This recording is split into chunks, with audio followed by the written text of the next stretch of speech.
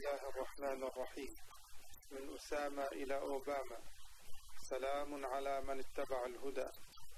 أما بعد لو أن رسائل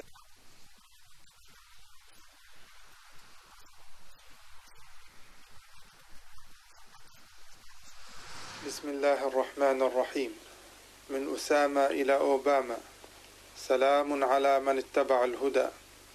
أما بعد لو أن رسائلنا إليكم تحملها الكلمات لما حملناها إليكم بالطائرات وإن الرسالة المراد إبلاغها لكم عبر طائرة البطل المجاهد عمر الفاروق فرج الله عنه هي تأكيد على رسالة سابقة بلغها لكم أبطال الحادي عشر وكررت من قبل ومن بعد.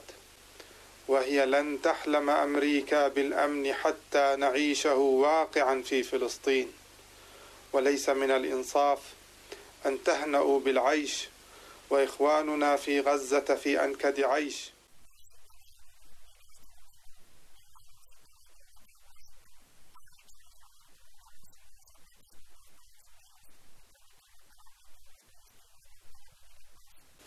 وعليه فبإذن الله غاراتنا عليكم ستتواصل. ما دام دعمكم للإسرائيليين متواصل.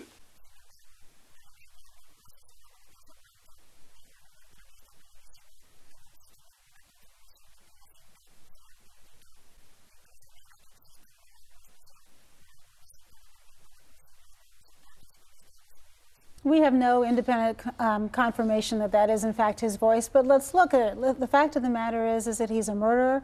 He has attacked Americans. In fact, he's killed more Muslims than any other group in the region. And so the president is committed to going after Al Qaeda and all of their affiliates and bringing them to justice.